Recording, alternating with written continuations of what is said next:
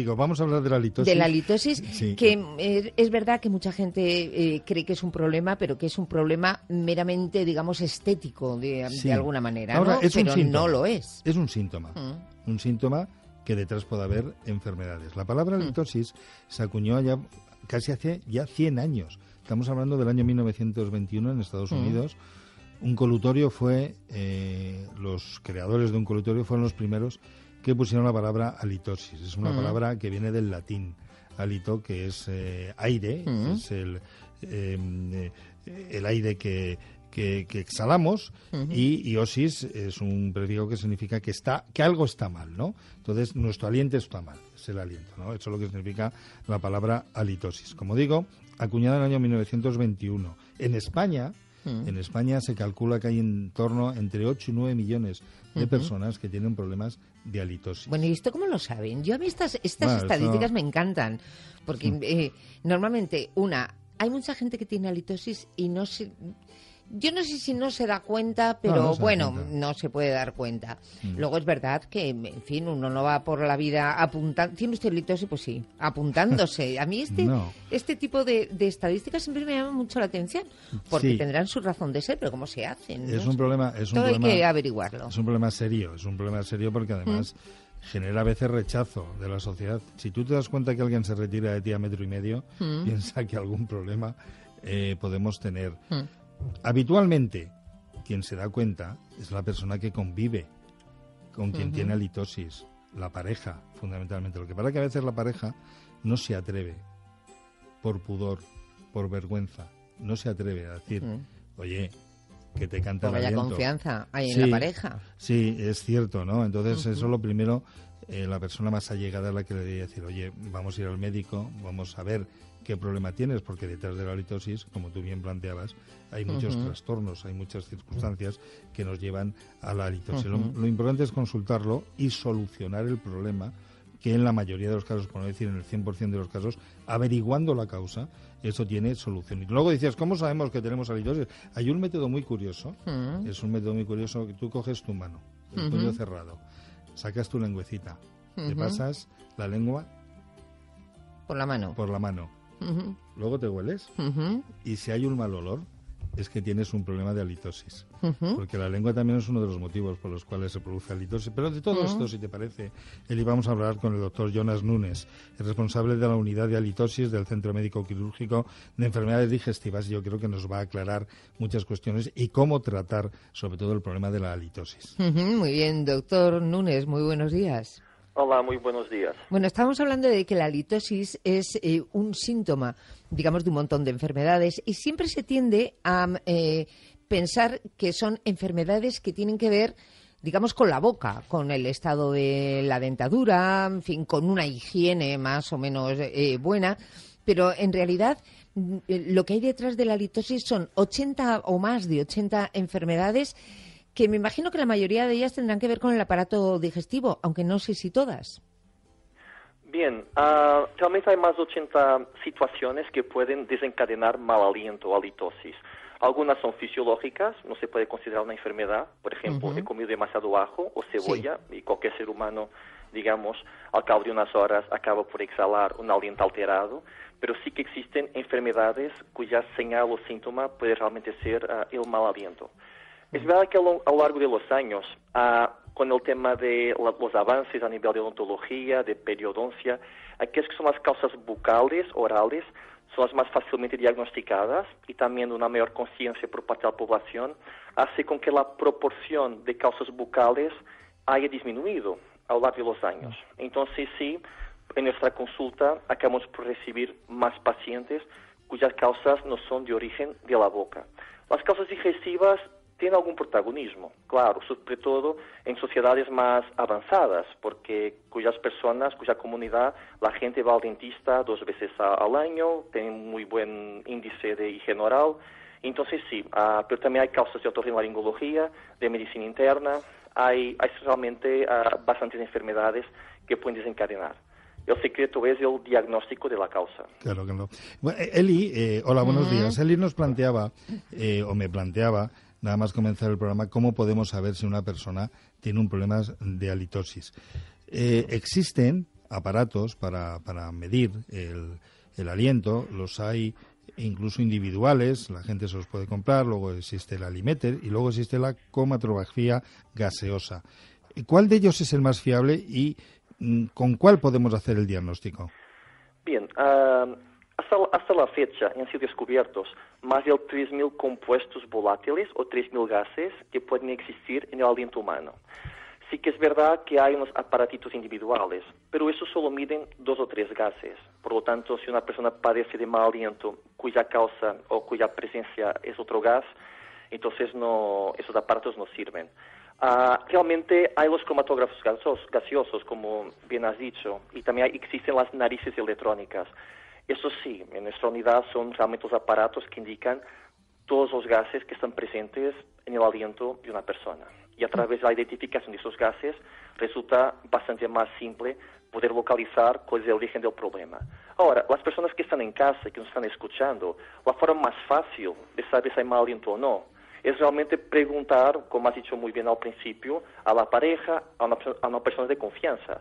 Porque vamos a ver, la definición de mal aliento o halitosis es una alteración del aliento que terceros perciben.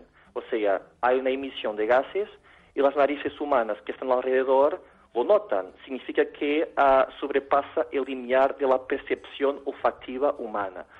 Quizás para un perro todos tenemos mal aliento, pero para un ser humano no. Entonces una persona con, que está con nosotros por lo menos dos o tres veces a la semana, porque hay padrones de halitosis que son variables. Hay gente que tiene halitosis todo el momento y otros que a veces.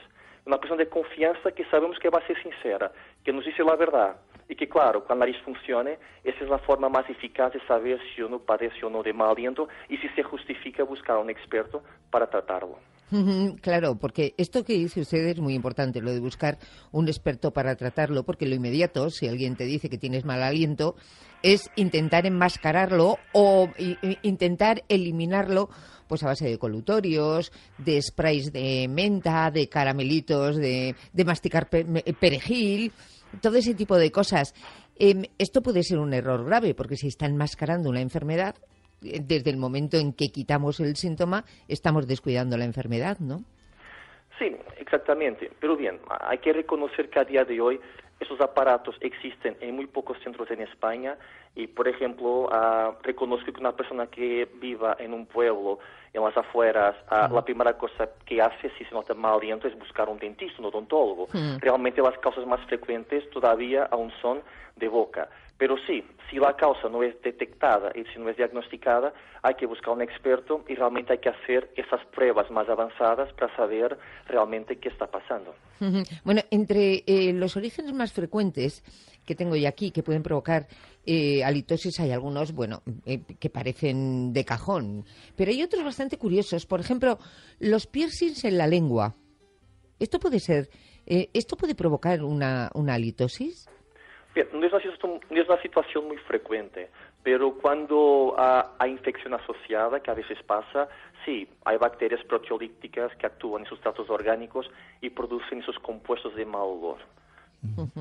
Y podemos decir incluso que una enfermedad, como puede ser la diabetes u otras enfermedades metabólicas, cuando eh, se descompensan, cuando hay cuadros de aumento de glucosa muy alta, o al revés, cuadros de hipoglucemia, aparece un aliento extraño, un aliento, un mal olor, en una palabra. Por lo tanto, también puede indicar que detrás hay una enfermedad, ¿no? Sí, hay alientos muy característicos. A nivel hospitalario nos damos cuenta con bastante frecuencia. El aliento del, diabético descompensado es un aliento a, manzana, digamos, un aliento dulce. El aliento, por ejemplo, de una persona con problema, con una con una enfermedad de riñón grave, Ah, es un aliento que se llama urémico, un aliento a, orina. Ah, hay también aliento a pudrido de, muy fuerte en casos de problemas de hígado. Una oclusión intestinal puede dar un aliento a heces, por tanto hay alientos que son que nuestra nariz humana consigue realmente a ah, detectar y asociar con algo y consigue casi hacer el diagnóstico. Eh, doctor, ¿por qué el estrés o la ansiedad o la depresión provocan mal aliento?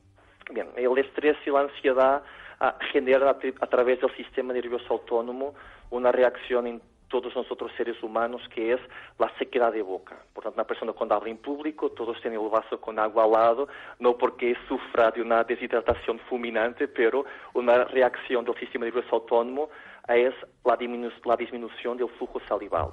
Entonces, la saliva humana, cuando evapora, huele un poquito mal. Uh, si nosotros uh, sí, ponemos un poco de saliva sobre nuestra piel y resecamos, hay un ligerito olor que en personas con mal aliento huele más. Entonces una persona cuando se le reseca la boca, de repente hay la volatilización de sus olores. Y hay unas proteínas aminadas en la saliva de las personas con mal aliento que tienen unos nombres en español muy curiosos, cadaverina y putrescina. Esas proteínas se vuelven volátiles, se vuelven gases. Y al ser gases, las narices humanas alrededor sí que detectan ese mal olor. Eh, doctor, ¿en qué momento eh, hay que decirle a una persona que tiene halitosis? Es decir, hay situaciones puntuales donde la gente, hombre, pues a veces tiene mal aliento. Estoy pensando en el momento de despertarse, eh, si uno ha dormido mucho más y ronca, por ejemplo, o si ha, tenido una mala digestión. pero, pero ¿en qué momento uno tiene que pensar que quien está a su lado y tiene mal aliento tiene que mirárselo? Bien, ah, yo creo que decir a otra persona que tiene mal aliento es obligación de la mm. familia más cercana y de los amigos más cercanos, aquellos que tienen un contacto frecuente con esa persona y que saben discernir si ha sido una, situación muy, muy puntual o si es algo que, que uh, pasa a menudo. Uh, hay que decirlo, claro, con privacidad, uh, hay que intentar evitar decirlo en público, hay que decirlo con cariño, con amor y hay que también decir que hay solución para el problema. Y esa solución pasa realmente por un diagnóstico médico y por un tratamiento médico. Ese es el tema fundamental, yo creo, y, la conclusión que tenemos que sacar. Una vez que sabemos que ya tenemos un problema de halitosis, es acudir al especialista que busque la causa, que las causas, como hemos dicho, son muy, muy variadas. Y una vez, eh, doctor Núñez, que hemos hecho el diagnóstico, ¿podemos decir que prácticamente en el 100% de los casos podemos solucionar el problema? Sí, pacientes que vienen ambulatorio en nuestro centro, básicamente todos encuentran la solución.